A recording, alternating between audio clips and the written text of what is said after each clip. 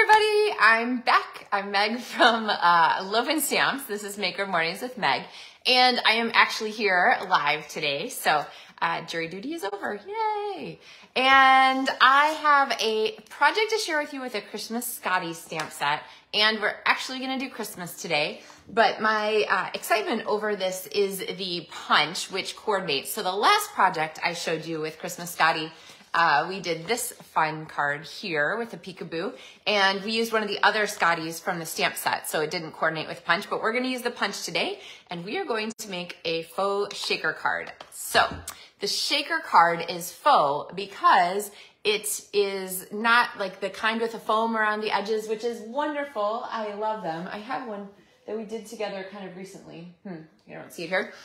Anyway, we did that one recently, but one of the problems with making shaker cards is like, especially if you put little balls inside them, things like that, they uh, have a tendency to spill out and then they go on the floor. And I don't know about you, but those little tiny balls I think are worse than Legos for bare feet. So they're terrible. So the faux shaker card will never spill your guts out, which is a wonderful feature and is so much easier to do. No fussiness really at all. So with that, let us, I think I have cardstock in my hair. So funny. Yeah, well, isn't that fun? Welcome back to the studio. Anyway, I'm actually here live if you're just jumping in. I, I jury duty is over, so. All right, I'm gonna flip my camera down and we will uh, take a look here at our, our cards. So like I said, um, this is the feature for this month with the uh, LovenStamps card tutorials. And the pieces that I do for that each month feature a and a series of supplies that can be mixed and matched to make a variety of projects. So these uh, cards this month are going to feature um, these four cards. They're kind of actually almost monochromatic with the red and green are going to go together. But today we're going to feature the Balmy Blue. Here, get these a little closer. Uh, we're going to use Balmy Blue, so I'm going to set these aside. And we are going to start um, here with our pieces. We're also featuring the Gingham Cottage card or designer series paper. Um, here are those colors. You see lots and lots of great possibilities with these. Um, they feature this sort of selection of colors and the um, sides are, uh, most of them are the same color on both sides. So they give you lots and lots of possibilities. So I've got this black and white one here. I love this open piece here.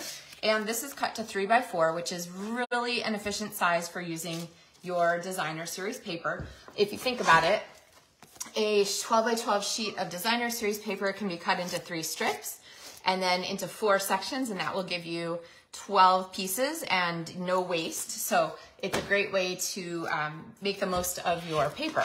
And so let's go ahead and start with this one here.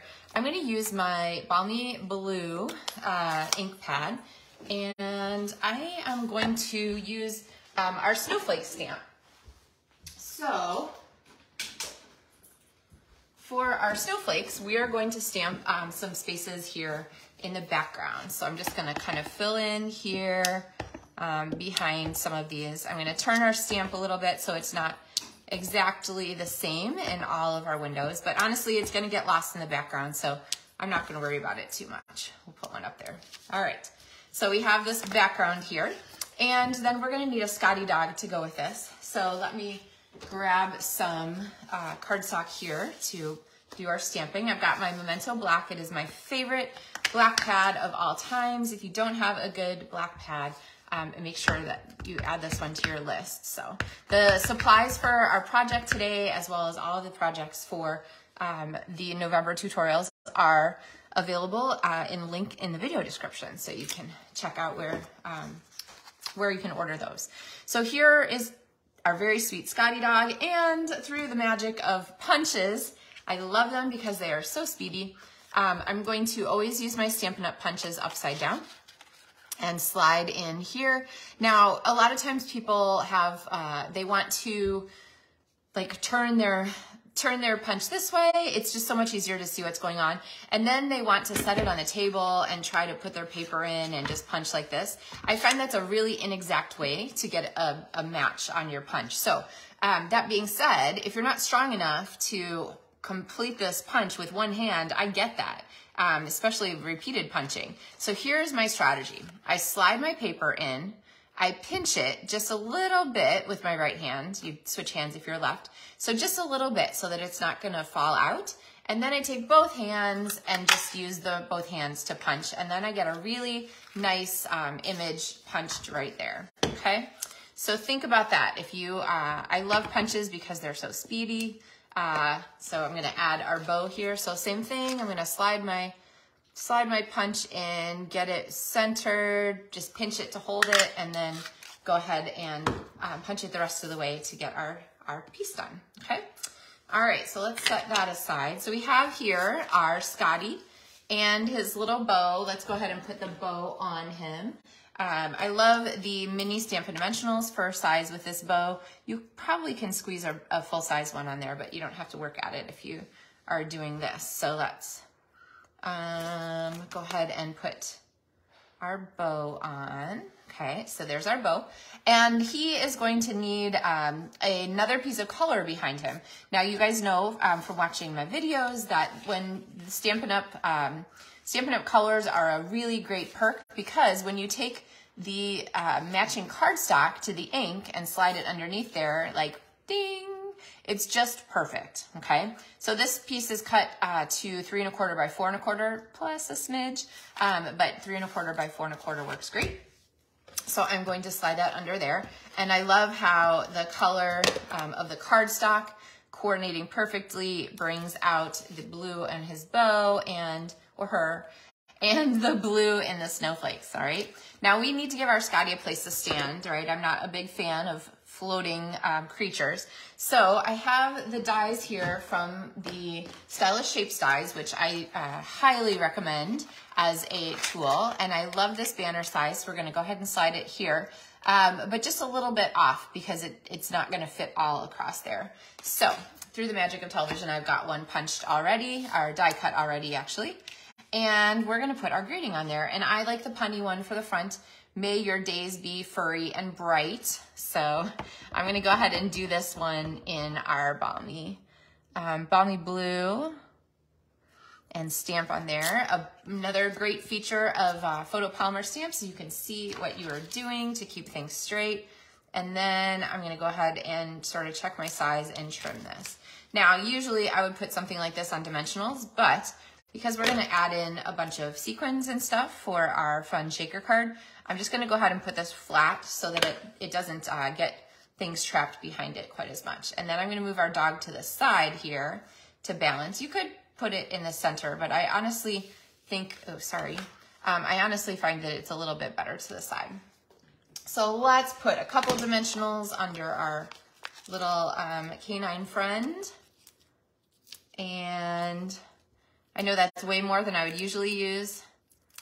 Uh, I don't know why. I just felt like he needed, I don't know, maybe he's cute. And I'm afraid he's gonna like run off somewhere. So, all right, stay here, puppy. All right, so now we are coming to the guts of our shaker card. And hello to everybody. Hey, Jennifer and Kelly, happy pre-Friday. And Doris and Cheryl and, and everybody who's on there who hasn't said hi yet. So make sure you say hi if you're if you're here. And uh, I'm gonna go ahead and work on the shaker card part of this. So I have here a clear envelope.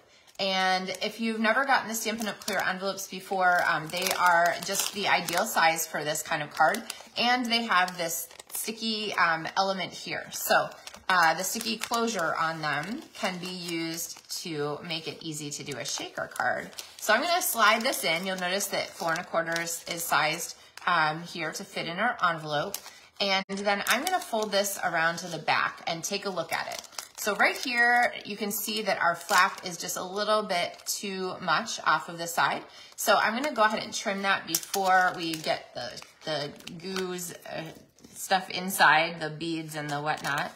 And you can use your paper trimmers, honestly easier, but scissors are what I have handy here. So I've got that trimmed away and then I am going to um, eventually seal this. Now, I really like there to be a tight seal right on this side also so that no, um, no goodies can fall to the back side of your shaker. So I'm going to go ahead and put a piece of tear tape across here. Um, I'm not gonna seal it yet, but that's gonna help to get this crease really tight here on the back here so that our glitter stays on the front of our cute card where we want it. Now, what to put inside this darling card? I have a um, card that was sent to me by my friend um, Lindsay Mann. She's a demonstrator in Edmonton. And she's doing this shaker card here. She used these um, beads, which are from the main catalog, and the Yeti stamp set. Like, seriously, isn't that darling?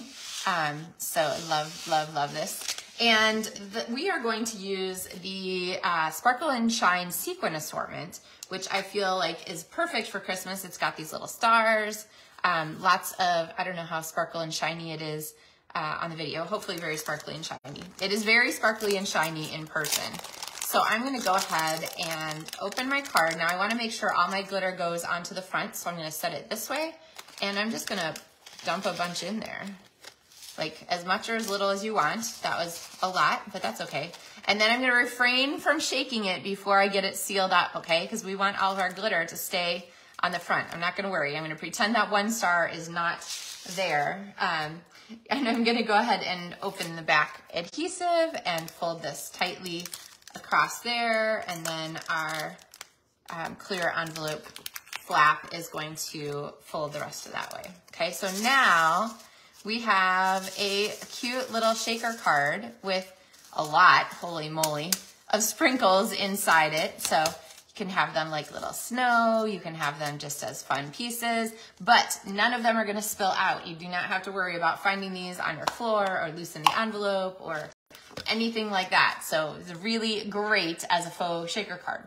So that's gonna be the front of ours, and I'm gonna show you how to attach it. We're gonna add one more embellishment in a minute, but let's look at the inside of our card. I love the way this black cardstock sets off and brings out the black in the background and our dog. But then we need a element to go inside. Thanks, Louise. Um, isn't this a great card? I'm, i think Louise was talking about uh, Lindsay's card. Uh, so definitely super cute, and I love the colors too. Um, and then we are going to go ahead and uh, stamp here on the inside. Now, other elements in the stamp set, this cute ribbon, um, more dogs, these little presents. So we're gonna go ahead and use um, some of these other elements here on our card because we can. So I'm gonna pop this ribbon down here at the bottom. Um, I'm gonna use the straight up Merry Christmas greetings and I'm gonna ink those here um, with our Memento Black and pop this up here. And then we're gonna add one more of these little um, pieces here, which is this little present. Uh, so I didn't want you to lose this one. It's really easy to miss in a stamp set because it's just not super exciting on the box, but it is darling and can be used so many places. So I'm gonna go ahead and stamp this. And again, with photopolymer, it's really relatively easy to get those pieces lined up. If you find that you have trouble, um, kind of getting them lined up, uh, let's, I'll show you some, some tips here. I'll do it a couple times. So there's a couple little uh, presents there. And what I do with my second element is I just sort of go slow and get closer and closer and adjust my position as I go. And the closer you get, so that last little drop that I'm making is just like a teeny fraction of an inch um, is the best guide for making it line up. So if I hold my stamp like way up here and I just try and go from like an inch away and go bam, um, it's really hard to get it exact. So my strategy is to get it as close as possible and then tap down that last little bit because you know you have a better chance of having it fairly well lined up. All right, let's try not to do inky fingers. Oh, I failed. Oh, but I get a chance to bring out my onstage uh, my onstage chamois, which is still relatively clean. You can see the stamps that I've been using lately. Um, that's because this is one of four cards that I'll be sharing during the month of November using the Scottie Dogs. So, all right, I'm gonna flip this over. And actually, I'll tell you now that for the Scottie Dogs, uh, this is, oh no, that's not true. I have one more Christmas card to share with you, and then the other one is non-Christmas. So don't be thinking to yourself that um, Scottie Dog is is uh, specific to Christmas at all. And definitely also the Gingham Cottage paper. So we're getting near the end of the catalog. So I don't think that any of these things are on the low inventory list, but do be aware that as we approach the end of the seasonal catalogs, the minis, um, sometimes things can sell out and they, they don't get restocked because there's just not time. So if there's things that you want, don't wait until the last minute because sometimes uh, they go away. Always smush from the back side. There's a lot of smushing. Look at, there's our little shaky, our little shaky guys. Um, okay, so we're gonna flip this the inside and then like I said, I have one more embellishment for the front that's part of our um, suite that uh, I've curated for you. I love looking at the catalog and using my um, stamping experience to sort of put together a set of supplies so that you can make a whole bunch of projects together and know that you'll have lots of good ideas. So um, in this collated, uh, curated suite, um, suite by Loven Stamps, not a catalog suite, um, I've also added the black matte dots and we use them on this peekaboo card here um, right here to accent our greeting. So just on the front. And so for this one, I'm going to sort of use them again to accent our greeting. And I'm gonna put them on the outside of our um, shaker just to sort of decorate the outside and make it sort of continuous. So I'm gonna do my slide and stick and I'm gonna pop a couple. So slide and stick. I'm just gonna pop a couple right down there on the outside. Um, and it kind of brings the magic um, out of the card just a little bit so you can actually have something kind of cool and tactile as part of your project. So, all right, guys. Aw, thanks. I'm glad you guys like this one. Hey, Terry and Tanya.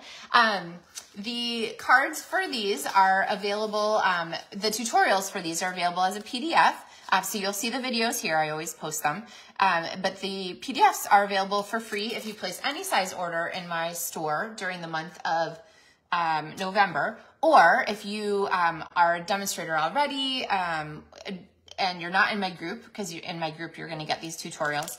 Um, but if you're a demonstrator already or you have another demonstrator that you work with and you'd still like the tutorials, you can get them from the Loven Stamps Card Mart on Etsy. Um, and those tutorials are available now. So um, for these projects and many, many others. So if you're looking for Thanksgiving projects or um, it's, a, you know, to use some things that you have to make some cute treats, um, there's some great ones on the Loven Stamps Card Mart there. Otherwise, uh, definitely, um, you know, figure out if there's something that you need for this month to get these for free. So uh, link is in the video description for ordering, and I would be happy to help you with any questions. Or if you're just getting started and you're like, oh my gosh, I'm so overwhelmed, I don't know where to begin, um, I would be very happy to help you get started um, with sort of figuring out what you need and, and what would be the most useful to you. So, because I want you to use what you have and have a good time with your stamping.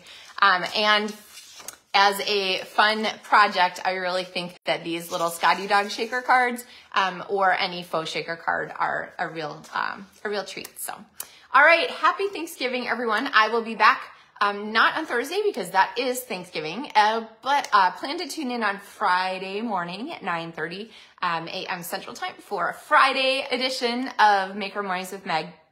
And then again, uh, Tuesday, Thursday next week because I am back in the office. So, um, Thanks for uh, everyone who serves our civic duty by serving on jury duty at one time or another. So, all right, guys, have a super fabulous day, a wonderful holiday, and I will look forward to seeing you on Friday and again next week. So, happy stamping, everybody.